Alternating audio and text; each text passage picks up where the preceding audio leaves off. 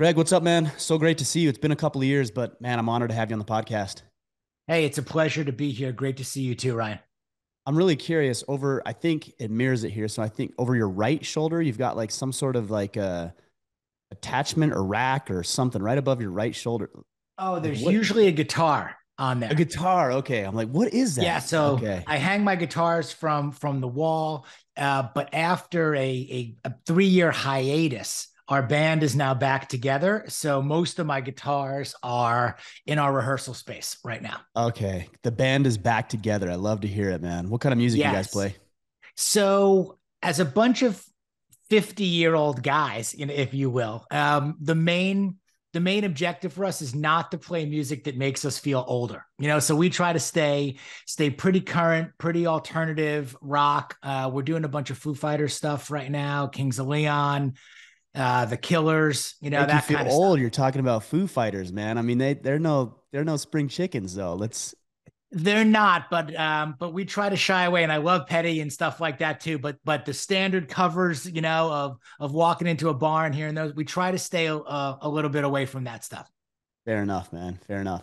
No, I've been looking forward to this conversation. You and I were talking about it. You just turned 50. I just turned 42. Somebody asked me the other day, just a couple of days ago, they like, they're like, I don't know if you know about what's going on in my own personal life, but they said, Are you having a midlife crisis? I'm like, I'm 42 years old. I'm not having a midlife crisis. And she, and she said to me, She said, Well, how long do you think you're going to live? And I'm like, um, Shit, I am having a midlife crisis. What in the world's going on right now? So I think a lot of guys are dealing with, uh, dealing with a lot of things in their 40s and 50s and that's why i wanted to have you on the conversation or on the podcast for this conversation no, look, I appreciate it very much, and I think it's it's it's very real. I think, look, we're all we're all going through a lot, and our experiences are are deeply personal. The situations and circumstances that we find ourselves in, while there may be commonality and similarity in areas, and, and and we can go down any of those areas and paths you know that you want um, what it also really comes down to it is they're ours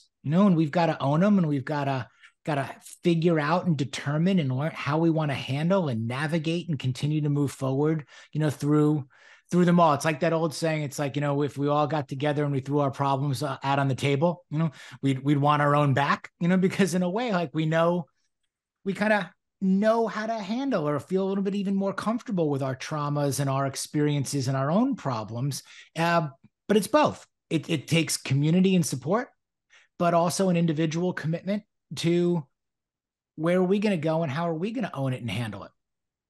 You said an interesting word. You said trauma, and I've heard a lot of people talk about this, and I scoffed at the idea a year ago. Like trauma, you know, unless you know, unless you've been through something tragic. You know, I was in the military. I've seen I've seen guys who have gone through experiences where they've you know lost their brothers, like literally right in front of them, be blown to pieces in front of them and it, these these things that happen on a day to day basis, I'm, I'm like I, I, mock it. You know, it's like trauma. You, what do you know about trauma? So I, I'm always skeptical of the word trauma, and especially because what I see is so many of us love to hang on to that stuff because of the victimization points that come with mm. it. You know, it's like I see guys like, oh, well, this happened and that happened, and this is what's going on, and it's like, are you trying to solve it, or are you just ex- complaining about it because you think you're going to score some points with me or somebody else, maybe even a woman, for example. Mm.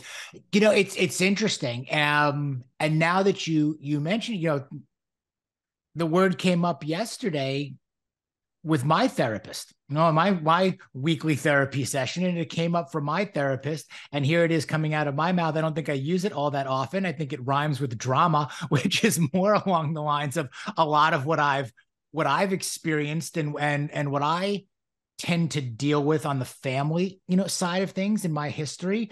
Um, but it is interesting. I've never served in the military. Uh, so I would never profess to understand or comment on that level of of trauma. I don't know how it relates or use of words of, of vocabulary in terms of other things. Look, was I in the room when my father passed away? And was I holding his hand and watching him die? Yes. You know, that happened when I was 17. Was it traumatic?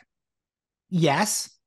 You know, have I seen my brother, you know, behind bars, you know, and through a, the plex, the plastic or plexiglass, you know, window visiting him in a maximum security prison? Yeah. Is that traumatic. I mean, whatever word you want to use to describe you know, these things. Again, I think we have situations and circumstances in our lives that that can either defeat us or define us. And and to what degree something falls on the drama, trauma, real whatever. Um, you know, I just try not to make any assumptions and I try not to make any many judgments and I'll share experiences and and also try not to give advice, you know, let people take from from these experiences what what can hopefully make them better, you know, and can help them.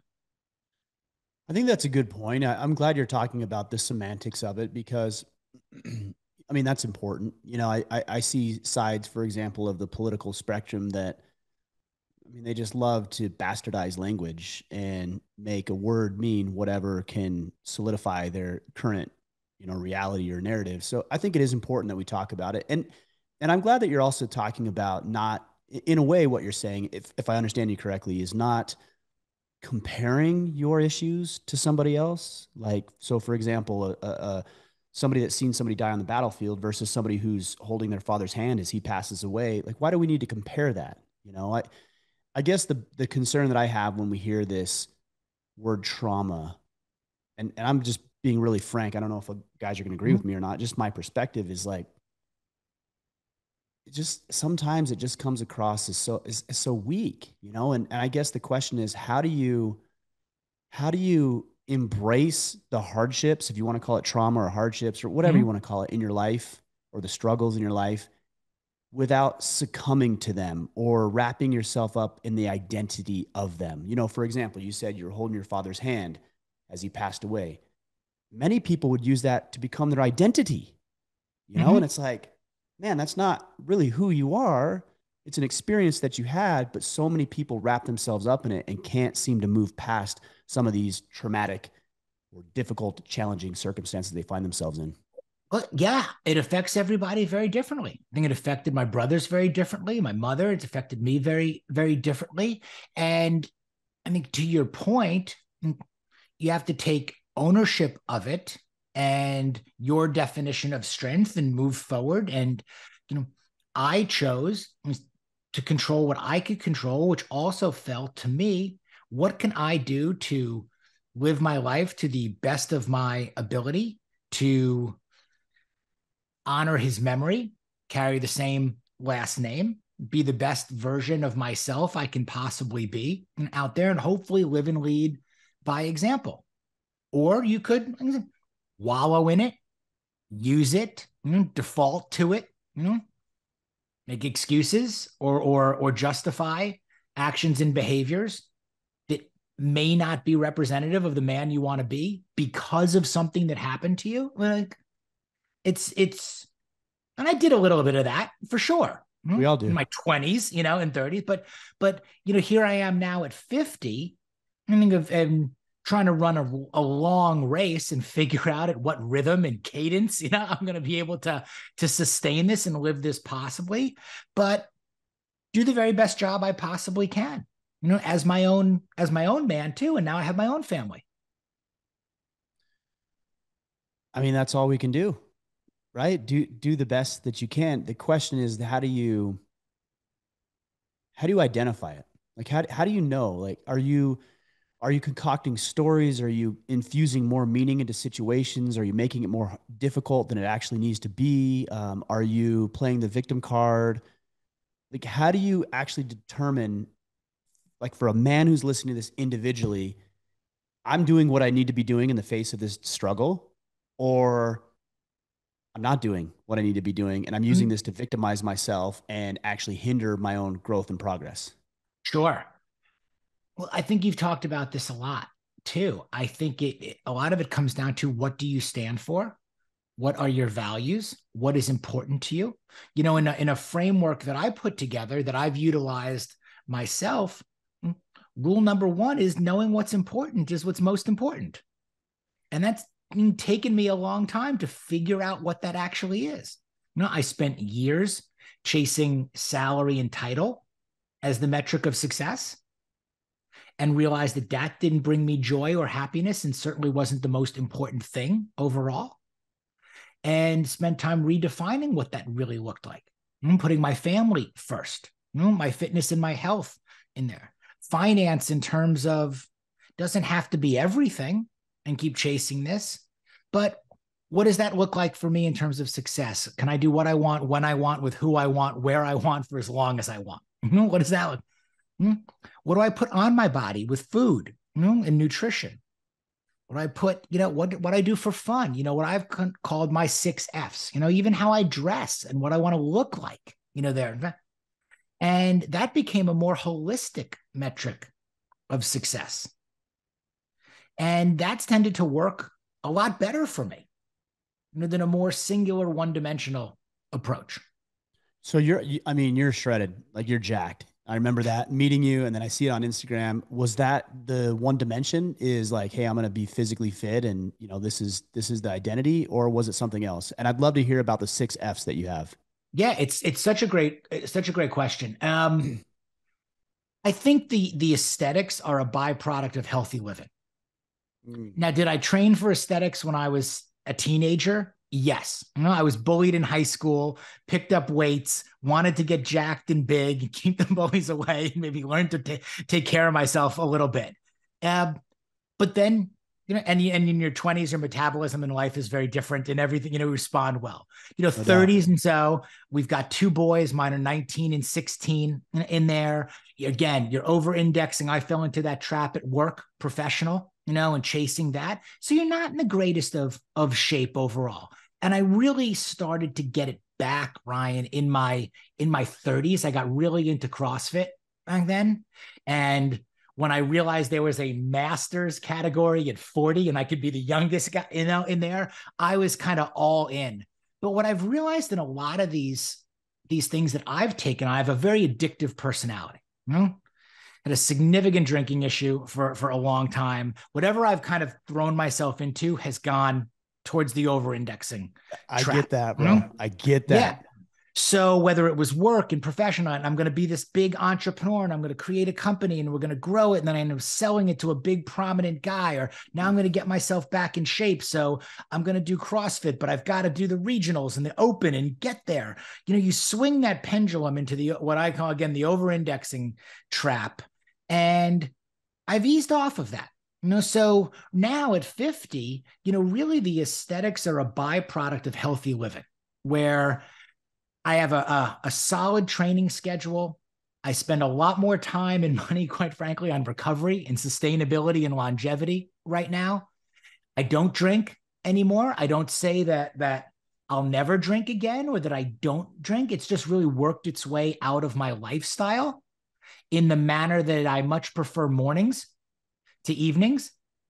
Um, I'm not entertaining clients. you know, and at night, there's this expectation in a way has gone away, and I've I've removed it. You know, there. So I just genuinely feel better eating cleaner, kind of in an 80-20, you know, rule. I'll still polish off the rest of the pizza if the boys leave it over in, in there.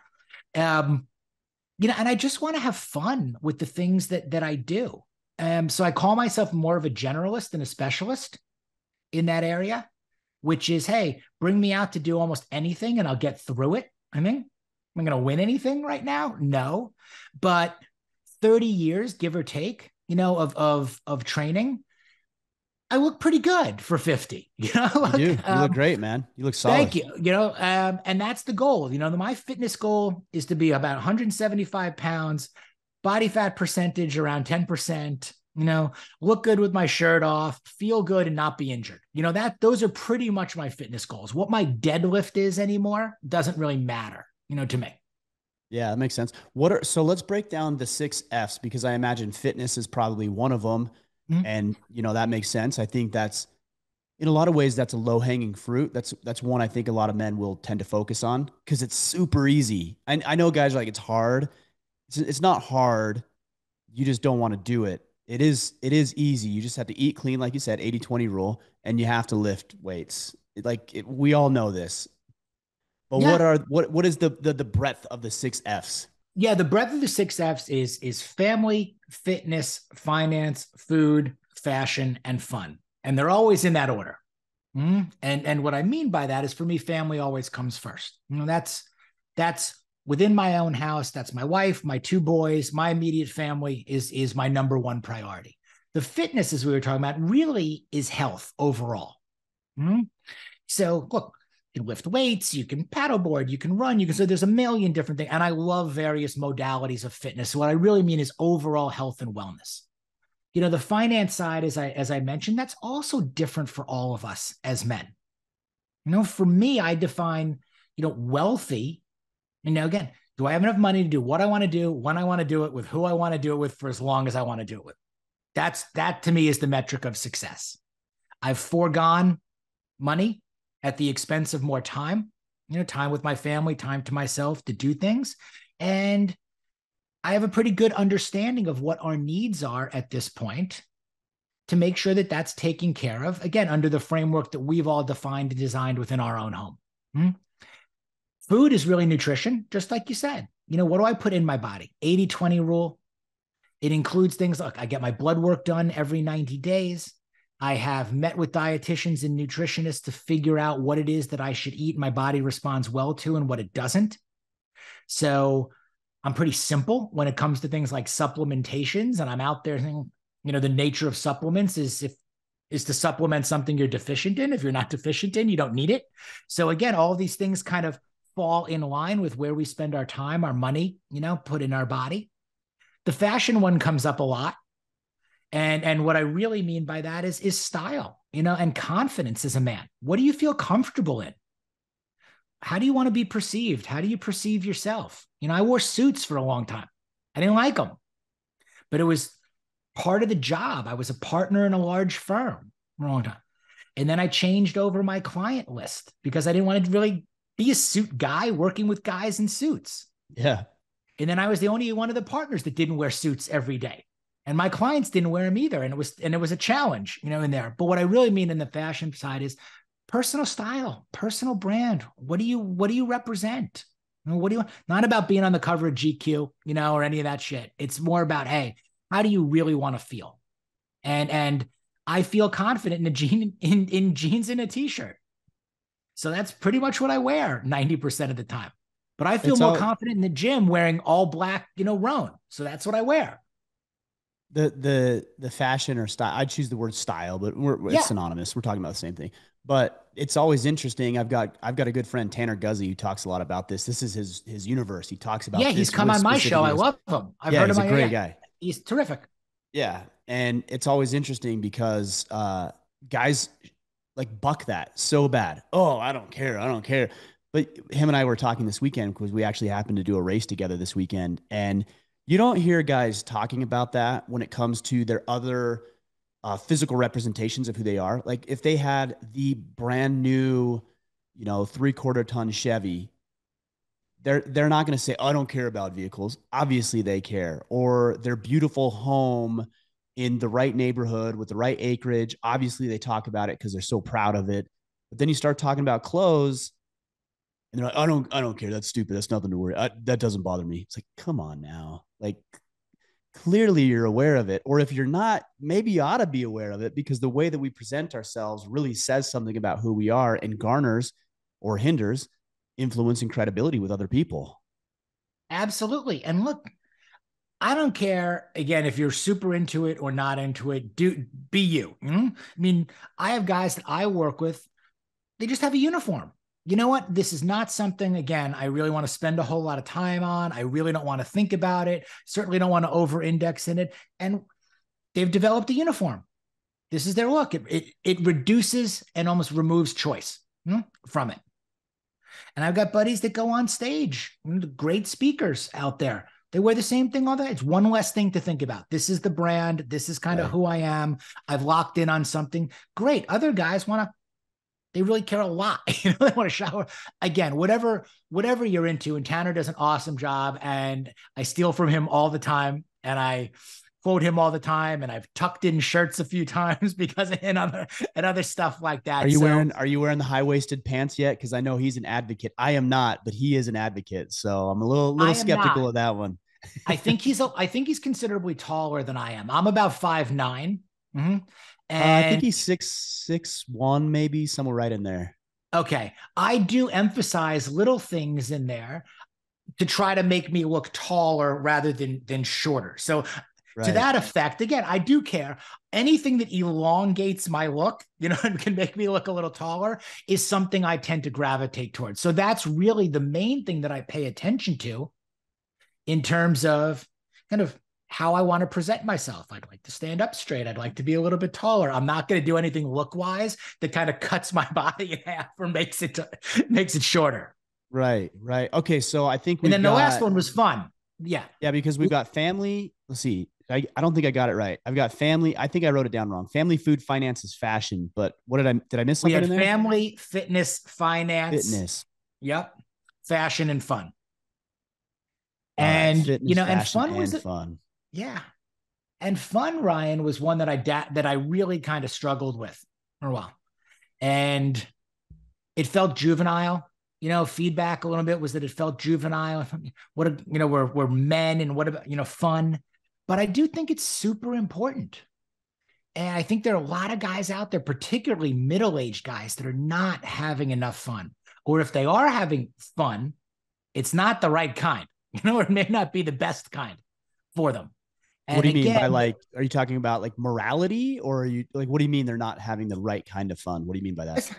Meaning that maybe they've gotten into this pattern again of, you know, going out after work with the guys for drinks. And that's turned into multiple, sure. yeah, multiple. Or hey, they're golfers and and nine nine holes a weekend has turned into 18 is turned into 27 is turned into you know having a few more at the turn and this that and everything staying out a little bit later not feeling as good in the morning. And I think all these things are connected. You know, it seems like that's maybe what we're more supposed to do as men as we go, or we'll go out with couples and you stretch these. You know, you know, fun could be a lot of things out there. And and I'm not judging anybody again from a morality standpoint either, but I was having a lot of fun for a lot of years and it wasn't doing anything good for the rest of my life. And it started to not yeah. feel like as much fun after a while. Wasn't waking up feeling very good. I wasn't as productive. It was reflecting, you know, on how I felt and how I performed. And I've had I have different kinds of fun right now. Look, man, we vacation differently. My the hours of the day are spent differently for me now than they used to be. So that's an option too, guys. Like in terms of what fun looks like to you there's there's a lot of things available out there and i think sometimes we just kind of limit or pigeonhole ourselves into the relationships things that we've been doing friends we've got the habits and behaviors which may not be the truest definition of of what we want to do for fun now or what we might be looking for yeah yeah i think the problem is when fun becomes the end in and of itself like i'm just here to have a good time yeah, i mean that should be an element that's why i like this framework you should have fun but if that becomes the sole objective, I think that's a dangerous path to walk. That's not one I walk. You know, I know a lot of guys do. I, I if anything, I'm the uh, antithesis of fun. like I'm the I'm the disciplinarian. I'm I'm focused. I'm driven. I'm determined. Fun and happiness isn't something I strive for, and I've really found that over the past three six months, somewhere in there, this is an element like it's a dimension that I have not tapped into as effectively as I could. And since I hmm. have started working on it, life's a little different. It's a little better. It's a little richer, a little fuller. Mm-hmm. Well, I'm look, I'm I'm certainly glad to hear it. I think it's it's one of the goals out there. Look, I I want to be happy. I want to live a long, healthy, and happy life. So, what does that look like? Now, is everything I do fun? Not even close. Am I described as being boring boring again and disciplined you know i talk about preparation consistency accountability right. i talk all the time about show me your calendar i'll show you your priorities you know what we schedule gets done all of these these things what i've learned is when i was having a lot of fun and i was freewheeling around and i didn't have this kind of consistency accountability discipline hmm, i also didn't have a lot of time and i wasn't really having good fun overall and my life didn't look as good as it does right now. Now, everyone's again definition of fun is different. So, you know, I've been told, oh, you should live a little, you know, or do this or do that. I think I'm living just fine. right. For me and for my family. Now, I think working out is fun. I enjoy it. You said it earlier. Like, that's not hard for me. Now, yes, it's hard to move heavy weight. Yes, it's hard to get punched in the face. You know, yes, it's a. You know, yes, it's hard to go and try to hold your breath underwater for several minutes at a time. And these things are hard. But in terms of getting me to go up and do them, go out and do it, that's not hard. I gravitate towards that. I like sure. that kind of hard. Hard to get me to stay on past 11 right now. like that's, you know, or whatever. There are certain other things that are a lot of fun that I just pass on because when I compare them, do I stay at late? Do we go out with these other people? You know, am I watching them drink? Are they laughing? We're having fun. I get home late, don't sleep as well. And guess what? I'm going to miss the, the morning pool workout that I really look forward to. And that's fun for me with those people. Better one or better two? I just ask myself that question. Check, please. We're not staying now. I'm going home because this sounds like more fun to me tomorrow morning and where I want to be and more around who I want to be with. Yeah. Makes sense. So, all right, I'm going back to my list, but I think I only have five because I'm I'm I, it's it's on my end. I'm confused. I've got family. Yeah. Yep. Fitness. Yep. Finances. Yep. Fashion. Fun. That's five, right? You missed you missed food. Food. Oh, food is different than yes. fitness. Okay, got it. All right, got it. Tracking. All right, I got it right here. So, one question I had is, you know, you hear these things from people who are maybe older, uh, who will say, you know, uh, once you hit 40, once you hit 50, like just stop. I don't want to hear the rest of that sentence. But I'm not, I'm open to the idea that something happens around 40, 45, 50 years old to men. And I really want to hear your perspective because the midlife crisis, I think, is a real thing. Mm-hmm. And there's something happening, whether it's subconsciously or physiologically, there's something going on that changes and forces us to confront our current lifestyle and how we want to move forward for the next 40 years. Would you agree or disagree? I agree. I think it's very much a real thing. I think it affects men at different ages and stages of their lives. You talked about this at the beginning 42, and it's, oh, you're having a midlife crisis. And well, midlife is defined for for men like 37 based on a life expectancy of around 76 mm-hmm. now i also i know some really old 30 somethings and i also know some really young 60 somethings so i do think it's a frame of mind and perspective and a, and a mindset in terms of how you approach it but i think it's very real. You know i had my my tipping point was really at 47 47 was the age my father was when he passed away so that one hit me hard. Okay. And I think what you talk about or what you think about then is are my best days in front of me or are they behind me? Is this the best I'm ever going to look, the best I'm ever going to feel, the best I'm ever going to do? It's that it's that time for a guy when he takes that long hard look in the mirror and he may be questioning a lot of what's staring back at him. In all the areas that we that we talked about is this the career I want? Or is it just a job? Hmm? Is it, do I quit my job and follow my passion? Because that's what I hear a lot of people ranting and raving about. That may be the most galactically irresponsible thing you could do, especially right. in middle age. Agreed. With obligations and responsibility. You think you're unhappy at your job right now? Guess what? Think about how unhappy you're going to be Mm-hmm. Without a paycheck coming in and still having all the obligations and responsibilities you have. say, without a paycheck and your wife, you know, being concerned with the bills and your kids not being able to join the football team because you don't have two nickels to run rub together. Yeah, that's way more stressful than your nine to five. I promise. And that's you. a whole other area. Most of the guys I work with, they've checked the box of finance. Like seriously, they've those guys that I work Again, with, they've checked it. But unless that's an are, easy thing, man. Like yeah, as we get older, the the fitness and the finances, like that's easy because it's just numbers. Like it really is. It's just Correct. numbers. You got to go to the gym. You benched, you know, 225 pounds yesterday. Try to do 230 today. You look at your bank account you're you've got you know 200 grand in the bank account i want to have 202,000 today like those are just numbers those ones are easy it seems like so many guys get that dialed myself included mm-hmm. tend to struggle with the other areas. Ab- absolutely. And and the reason being, I think as we age, energy becomes a big factor. I think conformity, complacency, redundancy. We start seeing aging maybe as something to fear rather than something aspirational. Start guys start feeling what I call mediocre. Hmm? It just kind of is what it is, but it's not what I thought it was going to be. And I'm not what I really thought I'm going to be. And now it's been a while. Kids are getting a little older. Hmm? Been married, you know, a longer time. Hmm? I don't have maybe the same drive in even those other areas that you talked about. My recovery time, even but even if I've got the stuff dialed in, my recovery time between my workouts is taking a little bit longer. Hmm? Maybe I'm no longer in my prime earning years.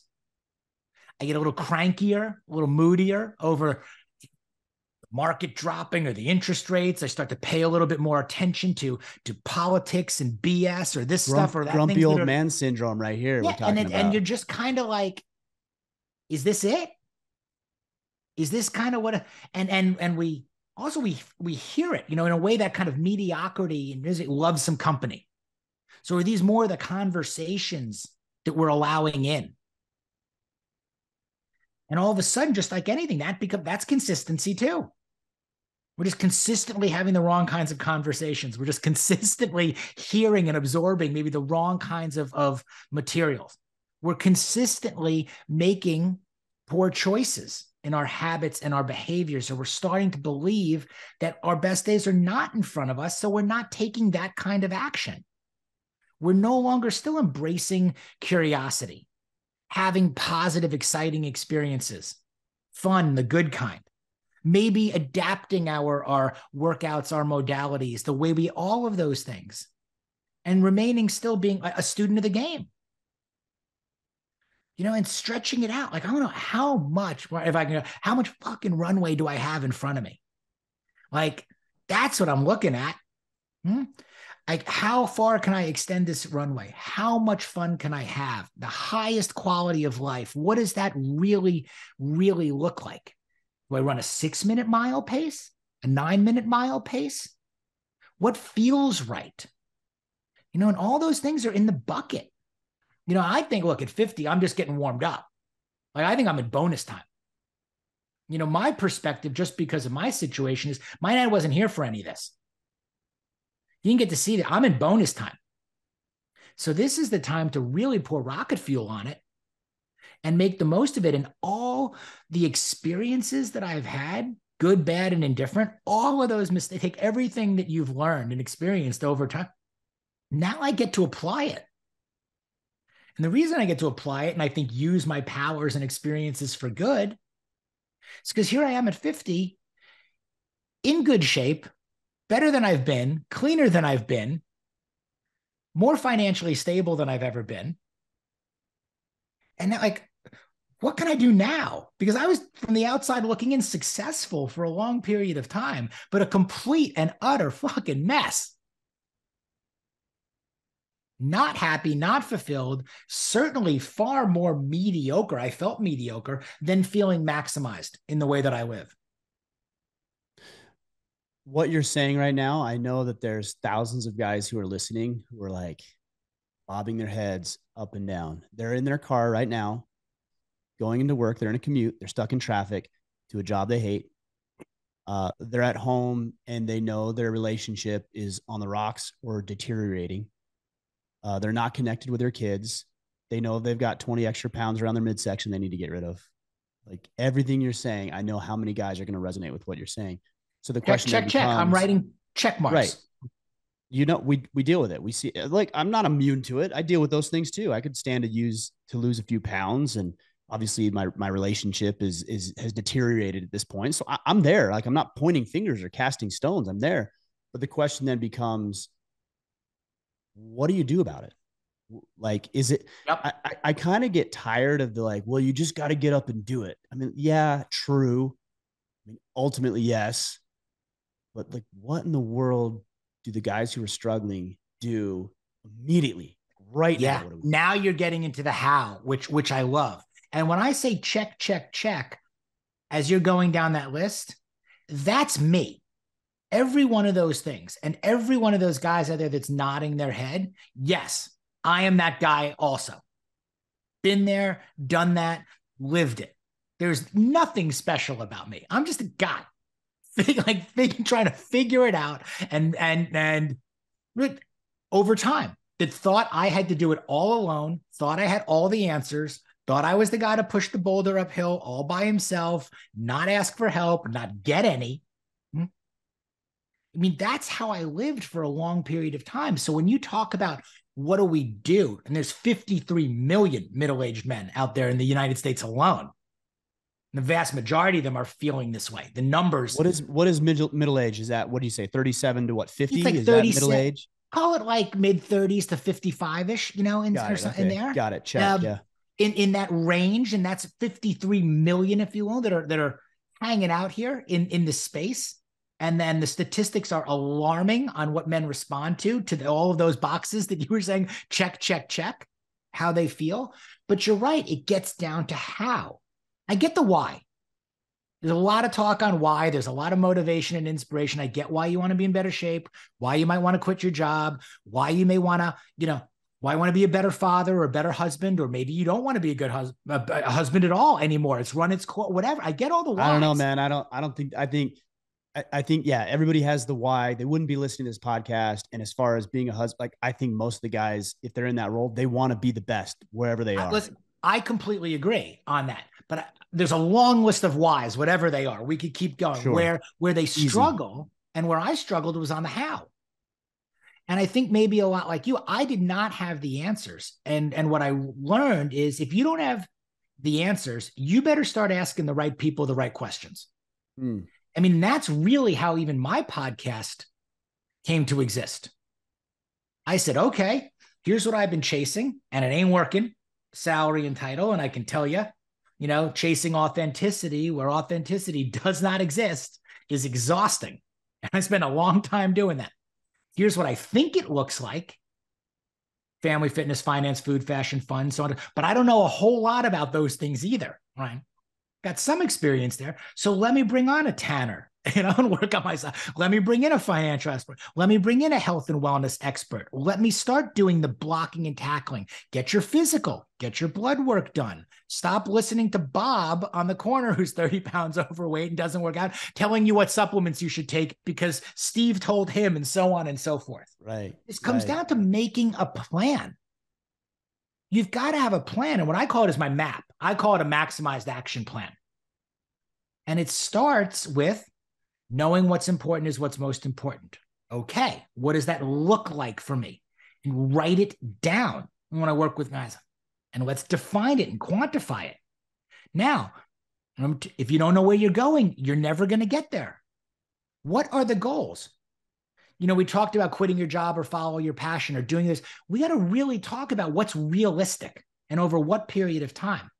For me, it was three years, 47 to 50 were the transformative years. And it wasn't so much about reinventing myself, it was really about releasing myself and creating a framework and a plan that I could live and feel like me. So, where are we going? What does this look like? May not be able to quit today, but you know what? In 36 months, if we do this, this, this, and this, you might be able to move to something else. Or you may be able to change your mindset, change your entire life, not leave, but be able to now use the proceeds from your job, see it differently to enjoy life in all these other areas that you haven't even considered. In there, you know, I talk about another thing aggregate, curate, and eliminate, which is what I go, you know, acing life. There's a ton of noise out there. Any opinion you want exists. So many things. Aggregate them all, curate it down to what works for you, and eliminate everything that doesn't. And I think, like you, I've had over 200 plus conversations like this where I don't do the talking, the guest does the talking. I do the listening and the learning. And when I feel so, or aggregating and care, something lands with me, I take it and I use it and it becomes part of my framework. The key is, you know, the boundaries and not letting everything in and pulling yourself in multiple directions at the same time and thinking you're going to get anywhere. Yeah. Well, I think a lot of guys struggle with that because they think if I do, you know, somebody's not satisfied with their life, for example, they might think, okay, well, I got to get my my six F's in place. I got to get my finances, my fitness, my faith, my all this stuff. Got to get all that dialed in. And the problem I think is a lot of these guys get burned up and burned out because they're not used to adapting or incorporating any of these things in their lives. And all of a sudden it goes from zero to 100 miles an hour. It's like, what if yeah. we went from zero to 10 uh, for the next three to four months? And then once it. we get our feet under us, then we go to 10 to 20 and et cetera, et cetera. In, go, in both directions. Look, you go zero to 100, what's going to happen? You're going to blow the engine. Mm-hmm. You go 100 to zero, you're going to fry the brakes. You're exactly right. It's about doing one thing, little wins. What does consistency really look like? We can't do it all at once. We can't do it in a second. You know, we're not breaking the speed record. That's not what we're going for here. We're talking about really developing a lifestyle and an op- personal operating system for how it is you do things. And that takes time. It took a lot of time to get where we are today. You know, it's going to take time to get where you also want to go next. The question becomes are we to- are we doing a one what are we doing with our direction? Are we completely changing it? Are we shifting it a little bit? You know, all these things have to be defined and designed. What's going pretty well, what's not? And that's part of that personal operating system. We mentioned earlier like okay, great. Now that we've done, you know, knowing what's important and we know where we're going and we've aggregated, curated, and eliminated, great. Break out your calendar. Because if it's not on your calendar and you're not actually doing these things, say your family's most important, show me. Did you take your, like, where's the time with your kids? Where's the time with your wife? Where's the time that you're working? Where's your, your exercise? Whatever it is, it's got to be quantifiable. And where's the open space you build in for your fun or for other things you know, that are in there? I don't even think that should be open space. That's one thing I'm questioning is like, oh, open space, fill it in the in the blanks. I don't know, man. I'm I'm kind of under the impression anymore. Again, this is not my forte necessarily, but under the impression like you actually have to schedule that shit, which sounds weird. It almost sounds counterintuitive. Like you're gonna schedule fun. Yeah, I need to yes. schedule it because if I so don't, I, I won't do it and that's exactly what i mean by the by the open space like it is by design it's not it's not by default you know one of the things i say is look mediocrity happens by default maximization happens by design there's nothing there that's not by design but that also allows you to give yourself the grace and the gratitude and the latitude of i can use this open space now how i choose. Or i can this is where my fun goes or what it looks like. I mean and it can be micro and it can be macro. Macro level, I put some big event on my calendar every quarter, some type of challenge or event or experience that I want to go to. That's a big thing. I put one on a calendar per quarter because I want something to look forward to. I want something to budget for. I want something to be accountable to. You know, I want my wife and my boys on board with it. I want them to do the same thing. There are things we do separately, things we do together, so on and so forth. On the micro side, it may just be I like going for barbecue on Fridays and lunch. I do that in my open space. I don't see clients on Friday. I have a different day by design. But my reward, my is I go for barbecue on Fridays. I go to my favorite place. I see the guys. I go and you know, so it can be micro or macro. And it should be both you know, I think you stack the daily little wins, but then you also have the bigger experiences and things that you want to work towards and look forward to and check those boxes as well. So one thing that wasn't included in your in your uh, framework there, your your six Fs, is faith. Yes, and I'm really curious about your perspective. That's one area that I'm personally trying to work work on in my mm-hmm. own life. What is your thought regarding faith?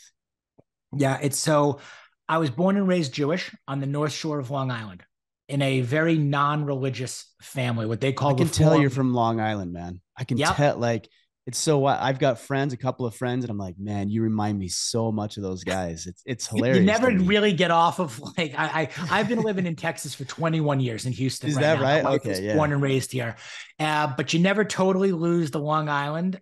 And now yeah. it just comes with a bunch of y'alls. And when I get back to New York, it's much worse when I when I am back there. I bet. So, you know, I was raised very, you know, what they considered uh, the words that are around now, look, I was privileged, I was entitled, I was raised in a Reformed Jewish community and a Reformed Jewish family. There was really nowhere to go but down. Mm. Um, is the way I, I kind of viewed it. And that's hard. That was a lot of pressure. Definitely.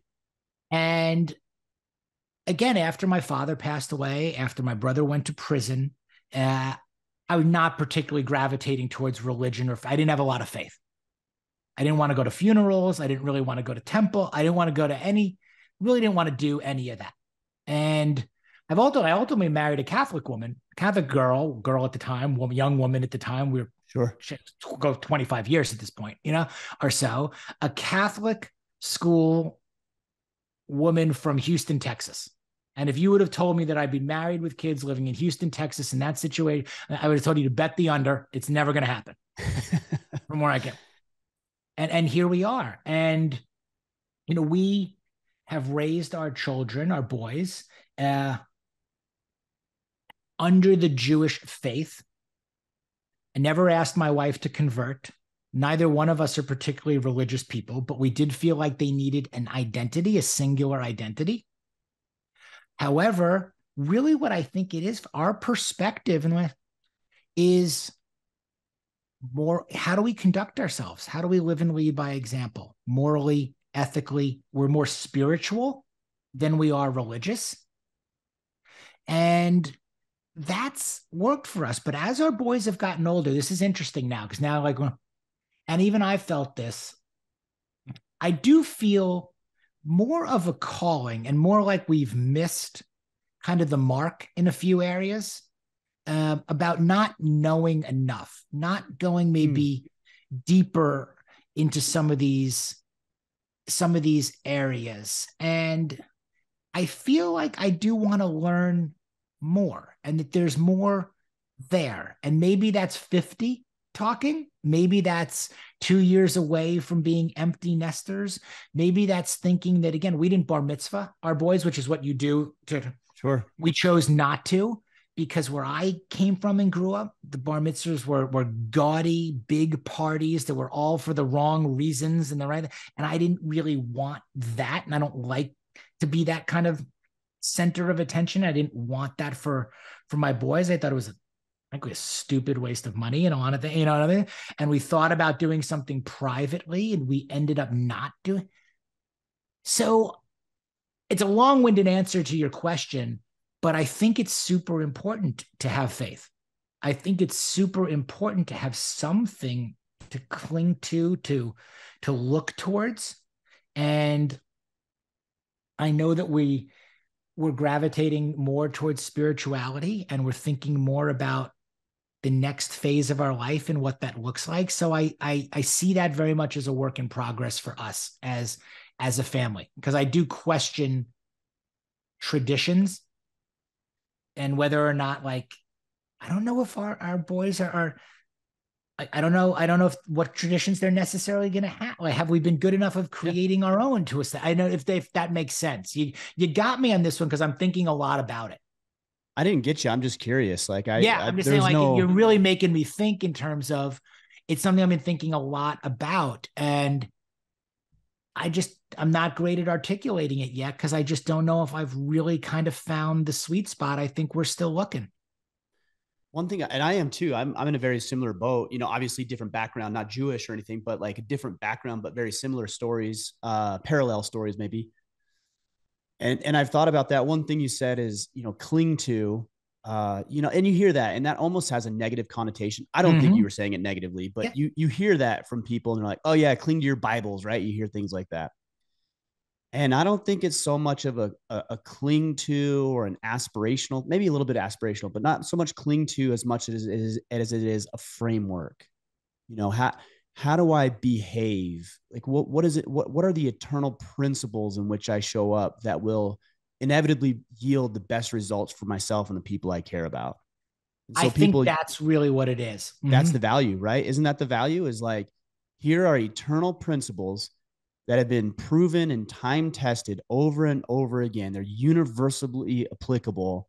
And if you follow these things, that's going to lead you to the good life. Uh, I have a hard time understanding why people buck that so much. It's very I think that notion is is accurate, and I think whatever that is for an individual or a family, then that's great. Work, do what works best again for you. Where I think it gets sometimes confusing, you know, in the middle, I talk about the middle is messy, you know, but the middle is also the, the sweet spot in life, you know, and in and in everywhere in everywhere else. I think acceptance is also a big part of this which is I think fundamentally a lot of it we've lost the ability to, you know, agree to disagree. Like, look, you follow your faith and what works for you. you know? Everybody can there are differences there. I'm not here to to to to debate them, but if it works for you, wonderful. Do I support, you know, the ability to agree to disagree or maybe that that might not be for me to see it that way or to live it exactly that way, but I think that that's okay also, you know, there. I don't know. I, think- I, I actually see the, the opposite from from where I sit. I see too much agreement. I see too much acceptance or tolerance towards some of these things. Like there's certain things I don't tolerate that. Like mm-hmm. I don't I don't I don't I don't embrace that. I don't accept it. That's not part of the way that I view the world and I don't need to be accommodating to some of those things. I get that too. And and I think that we're both saying the same thing but differently, meaning I don't have to accept and don't want to. And I might, you know, stand up for the point or whatever. I mean, I can tolerate it, but yes. I don't have to accept it. Correct. Correct. Yeah, that's that's and there's that's a lot it. of stuff I don't want to tolerate and I don't enjoy. You know, there's a lot of things we shouldn't. The- and collectively as society, we don't actually. You know, we don't we don't tolerate, for example, people running around the streets killing each other just because they don't like the person. Like that's something we don't tolerate. So clearly, there's a line in society of what we will and won't tolerate, and I think that line is acceptable. We just need to figure out where it is. Yes, and that line keeps moving in in different areas and we could talk about things that we accept, things that we tolerate, things that we don't, and go down a long list of of of things in there. Some we may agree on, some we may not agree on, so on and so forth. Everybody does, but I think again that we get to we get to make that choice hmm, again and how we want to live and lead by example what we would tolerate in our own homes what we would tolerate in our own behaviors what we tolerate in terms of our own faith all of these you know, in all of these areas and what we wouldn't. And at the same time, can we, you know, you know, control what we can control? You know, I'm I'm also uh, I'm I'm big into hey, can I live and lead by example? Like the old advertising campaign, act locally, think globally. You know, exactly. Like what can I do day in and day out to try to live and lead by example? And hopefully by stringing enough of those days together, they will make a positive impression on other people, both in and outside of, of my home. Can I do that? Does that make a positive impact? Does what I choose to tolerate or not, what I choose to stand up for, say or not say, go or not go, do or not do, how does that radiate and permeate out? Because again, that's who, you know, that's who I really am you know that's what's really important to me is being authentic and being real. And not always right. But how do i own the mistakes and the missteps that i make? How do i try to course correct and acknowledge when i do? Am i being intolerant or stubborn mm.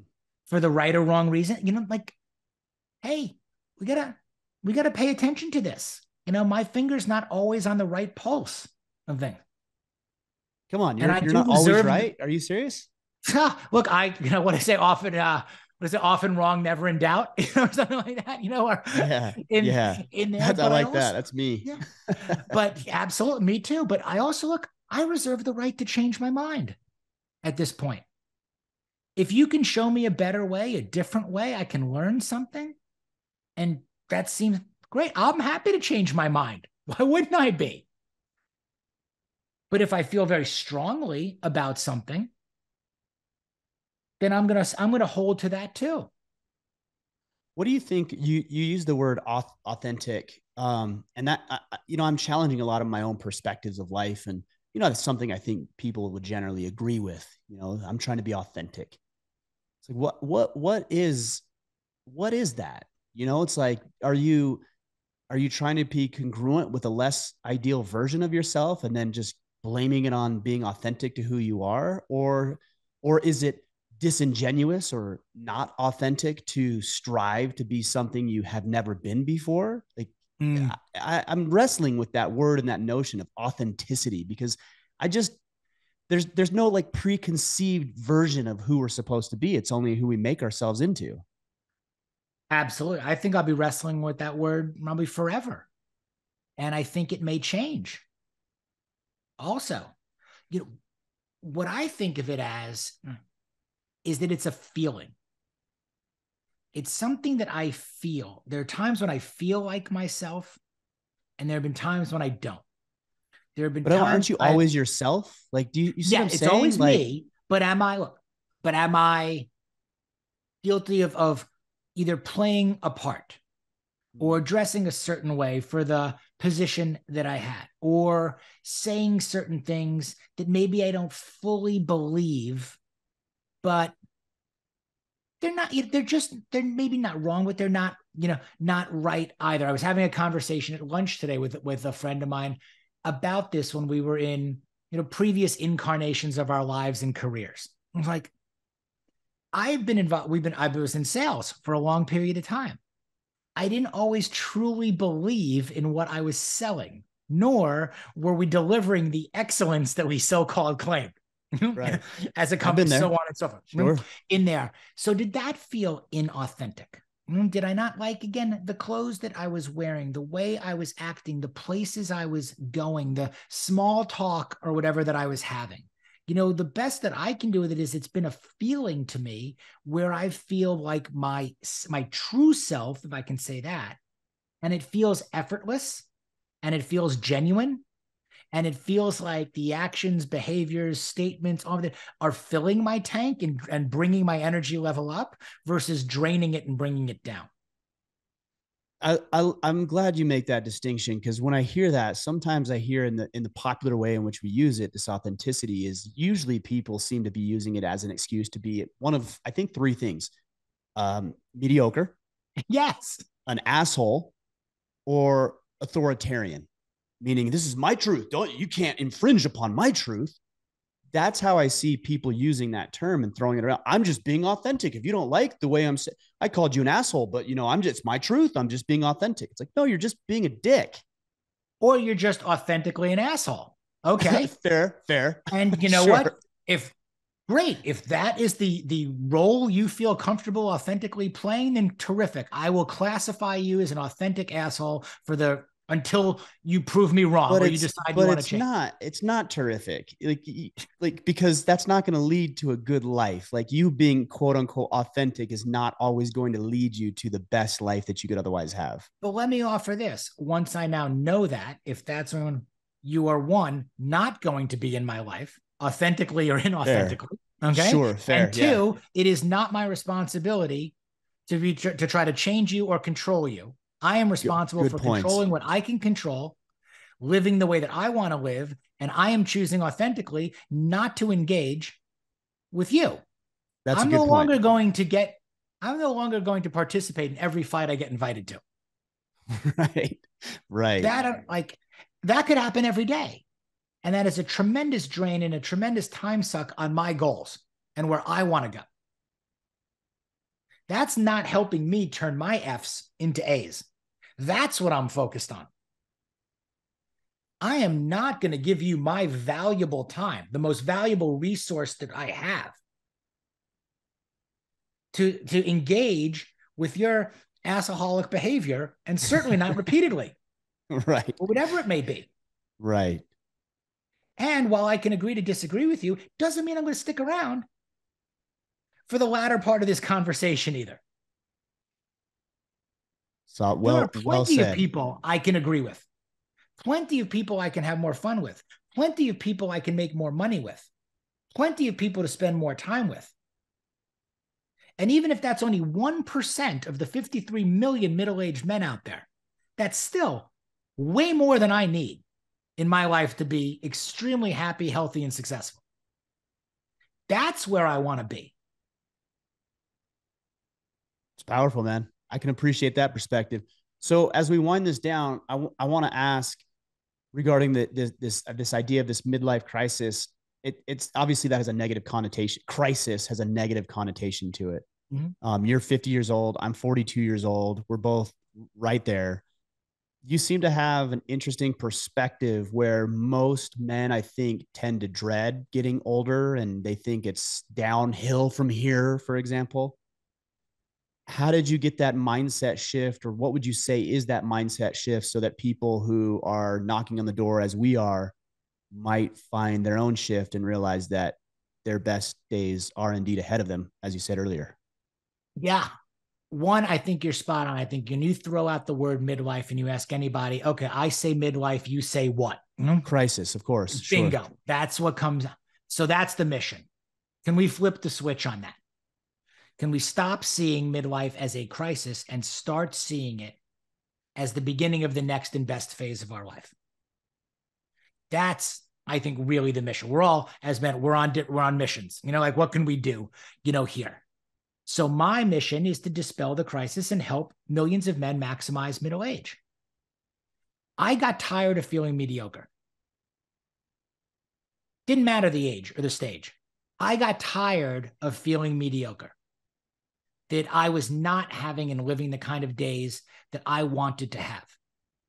And wherever you are in your life, it is never too early, it is never too late to start. But staying in that sweet spot of, of middle age, here's what I will say again the middle is messy, but the middle is also the sweet spot. It's the middle, it's not the end. And right now, here's the other thing the middle is getting bigger.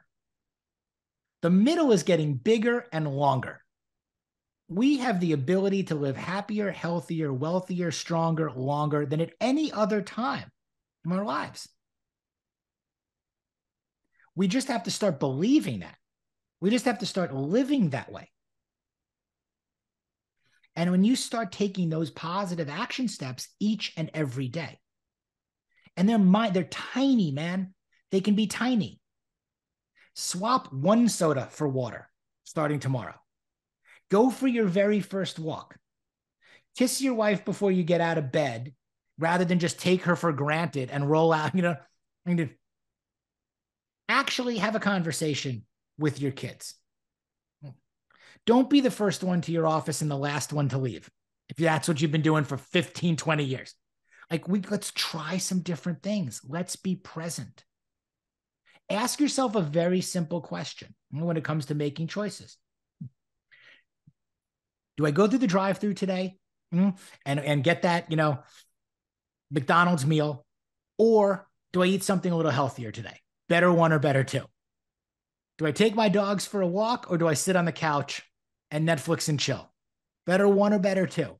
You can do this over and over again. And when you start making better choices the majority of the time, I don't mean all the time, 50%, 60%, 70, percent. You start making the better choice the majority of the time your life is going to get infinitely better. That's just math. Those are the outcomes that you take that determine your outcome. The outcome is inevitable if you take the right actions. Definitely. Just focus on today and then focus on tomorrow. And do one little th- i do three i'll wrap it up. I do three personal and three professional things each day that is it. That's my rule. And they are written down. As long as I do those things, I've had a pretty good day. Now there is a laundry list. Sure, of course. Of stuff on the to-do list. But I move over three personal and three professional things each day. And we do those. Perfect? Absolutely not. But the cool part is progress.